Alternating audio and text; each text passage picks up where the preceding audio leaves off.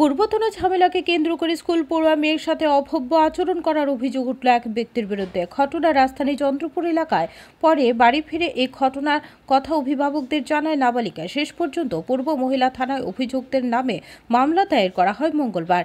এই ঘটনায় আতঙ্কে ভুগছে নাবালিকা ও তার পরিবারের সদস্যরা। অভিযুক্তের নাম লিটন সাহা। জানা যায়, এদিন সকালে প্রাইভেট টিউশনের জন্য বাড়ি থেকে বের হয় চোদ্দ বছরের নাবালিকা। এমন সময় তার পথ আগলে দাঁড়ায় অভিযুক্ত। তাকে শিক্ষকের বাড়ি যেতে বাধা দেয়। নাবালিকা তার কথা না শুনলে অভব্য আচরণ করে অভিযুক্ত। ছুড়ে দেওয়া হয় নাবালিকার পোশাক। এরপর থানায় দ্বারস্থ হয় নাবালিকা ও তার মা। অভিযুক্তের নামে মামলা দায়ের করে।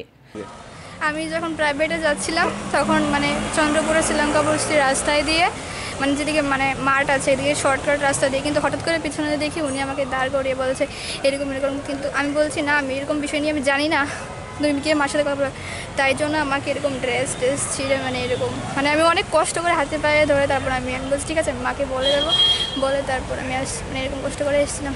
কে করেছে ঘটনাটা? এটা লিটন সাহা বলতে একজন বছরের কাছে উনি করেছে। Bureau report Tripura twenty four into seven.